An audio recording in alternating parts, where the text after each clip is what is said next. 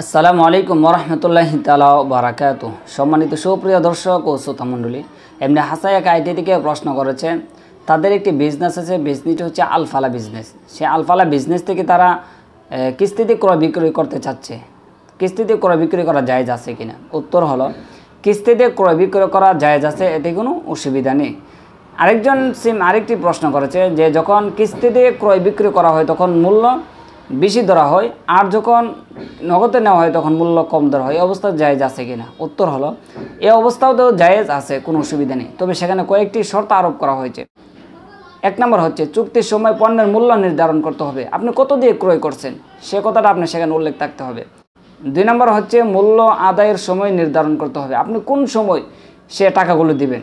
সেই সময়টা আপনার নির্ধারণ করতে হবে। তিন নম্বর হচ্ছে, চুক্তির পর পণ্য আটক রাখা যাবে না। আপনি যে জিনিসটা বিক্রি করেছেন যে কোনো অবস্থাতে তার পণ্য তার কাছে বুঝিয়ে দিতে হবে। এই শর্ত আর এই শর্তগুলো যদি ঠিক থাকে তাহলে সেখানে কিস্তিতে ক্রয় বিক্রয় করা জায়েজ আছে। আর তাছাড়া মূল্য কম বেশির সময় ব্যাপারটা রাসুল আকরম সাল্লাহ আলাই সাল্লামের কাছে একাধিক প্রশ্ন করছে ইয়া রাসুল্লাহ কিস্তিতে ক্রয় বিক্রয় হয়? অর্থাৎ দাবে দাবে সেই মূল্য নির্ধারণ করা হয়। তখন রসুল সাল্লাহ আলাই সাল্লাম কোনো সময় প্রশ্ন করে নাই যে মূল্য বেশি নেওয়া হয়েছে নাকি কম নেওয়া হয়েছে। এই অবস্থাতে তিনি কোনো প্রশ্ন করে নাই। সুতরাং যদি এই প্রশ্নের সম্মুখীন হতেন অথবা যদি এটাকে তিনি অজাইজ মনে করতেন, তাহলে অবশ্যই সেই বিষয়ে তিনি প্রশ্ন করতেন। যেহেতু সেখানে তিনি প্রশ্ন করে নাই, সুতরাং সে অবস্থাতে জায়জ আছে, কোনো অসুবিধা নেই।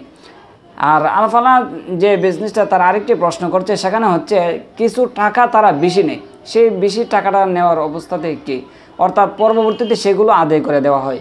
যদি সেটা সঞ্চয় হিসেবে রাখা হয় পরবর্তী তাদেরকে তাদের যে মূল্য, যে অবস্থাতে আছে, সে অবস্থাতে যদি ফেরত দেওয়া হয়, তাহলে সে অবস্থাতেও জায়জ আছে, কোনো অসুবিধা নেই।